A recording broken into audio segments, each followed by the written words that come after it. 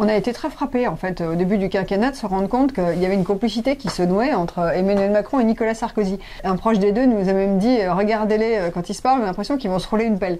Et assez vite, on s'est dit qu'il fallait enquêter sur cette relation complètement inédite parce qu'en fait, on n'a jamais eu ça en France. Bonjour, moi je suis Nathalie Chuc, je suis grand reporter au point. J'étais grand reporter pendant très longtemps en Parisien. Bonjour, moi je suis Olivier Beaumont, je suis grand reporter au service politique euh, du Parisien et donc je suis le co-auteur avec Nathalie Chuc de Chérie, j'ai rétréci la droite, la relation secrète d'Emmanuel Macron et Nicolas Sarkozy aux éditions Robert Laffont. Et maintenant, on va jouer au punchline quiz politique. Quel homme politique a prononcé cette phrase? Je suis maoïste, un bon programme, c'est ce qui marche. François Fillon?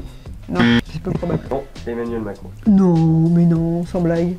Un chef, c'est fait pour cheffer. Bon, bah ça c'est facile, hein, euh, c'est l'autre, c'est Nicolas Sarkozy. Euh, effectivement, euh, c'est ce qu'on explique hein, dans le livre, le questionnement du, du leadership. C'est ce que reproche à Emmanuel, à Nicolas Sarkozy, à Emmanuel Macron, de, de, de manquer d'autorité. C'est très frappant pendant la, la, crise sanitaire où il reproche à, à, Emmanuel Macron de ne pas avoir incarné un leadership sur la scène européenne et sur la scène mondiale, notamment dans la course au vaccin. Ouais, il dit souvent il ne s'est pas tranché. En fait, Nicolas Sarkozy, il aurait bien aimé être le président bis hein, de ce quinquennat. Ça s'est pas exactement passé comme ça. Sauf qu'Emmanuel Macron, il prend les conseils, mais il en fait strictement rien parce qu'il n'a pas du tout envie de passer pour un petit garçon sous tutelle sarkozyste. Donc ça agace beaucoup l'ancien chef de l'État. Oui, bon, facile, facile.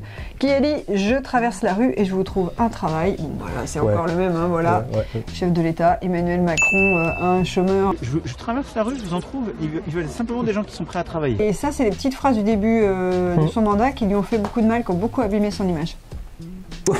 Oui, bon, alors, ah, très, bon, dur, et eh très, ben, dur, très, très dur. Et ben, casse-toi alors, pauvre con. Ah non, je ne pas pas. Alors, casse-toi alors. Tu salis. Casse-toi alors. Ah, facile, hein, Nicolas Sarkozy. Alors, faut se souvenir quand même qu'à l'époque, ce qu'on ne sait pas, c'est que Sarkozy, il, il, était malade en fait ce jour-là. Il avait, euh, il avait, non, non, non, ça n'excuse pas le propos. Tous les deux, ils ont en commun euh, d'avoir eu des phrases malheureuses au début de leur quinquennat, qui ont contribué à, à, à construire une image un peu méprisante, mmh. un peu hautaine. Et quand vous avez cette image qui est collée en début de mandat, c'est très difficile de s'en défaire. On m'appelle l'omni-président. Je préfère que l'on dise cela plutôt que le roi fainéant. On en a connu ouais. Nicolas Sarkozy quand il était président, en parlant de Jacques Chirac, ce que les Chiraciens avaient adoré à l'époque. Alors, désormais, oui. quand il y a une grève en France, plus personne ne s'en aperçoit. Nicolas Sarkozy. Et... Quand il y a une grève en France, personne ne s'en aperçoit. Il se targuait d'avoir effectivement tué les grèves avec le service minimum dans les transports. Emmanuel Macron, quand il est arrivé, c'est pareil, il considérait qu'il fallait faire des réformes tambour battant et puis ne pas céder surtout euh, aux manifestations euh, populaires ou syndicales. Cette histoire, c'est surtout celle d'une rencontre entre deux mâles alpha, en fait. On explique hein, au début du livre comment, comment ils se reniflent, comment ils s'épient un petit peu, et comment il y a aussi une part d'utilisation de l'un pour l'autre. Pourquoi? Parce que pour Emmanuel Macron, euh, traiter Nicolas Sarkozy, c'est aussi euh, une façon de bordéliser la droite, hein, c'est ce que nous dit euh, Rachida Dati dans cet ouvrage, et puis pour Nicolas Sarkozy, d'aller euh, comme ça très régulièrement rencontrer le, chef de l'État, c'est une façon aussi pour lui d'exister euh, encore. Hein. Comme le dit Bruno Le Maire, pour lui c'est une question de vie et de mort, de peser encore aujourd'hui dans le paysage politique alors facile. J'ai dit que je voulais regarder la France au fond des yeux, mais je voudrais aussi atteindre son cœur. Ah, moi, pour moi, c'est Valérie Giscard d'Estaing. J'ai dit que je voulais regarder la France au fond des yeux, mais je voudrais aussi atteindre son cœur. Giscard, c'est un petit peu une espèce de malédiction hein, dans l'esprit de Nicolas Sarkozy, parce que pendant tout son quinquennat, on a dit qu'il allait être frappé par le syndrome Giscard, c'est-à-dire tenter de se faire réélire et de pas réussir. C'est exactement ce qui s'est passé. C'est aujourd'hui le même risque qu'encourt Emmanuel Macron en cette fin de quinquennat.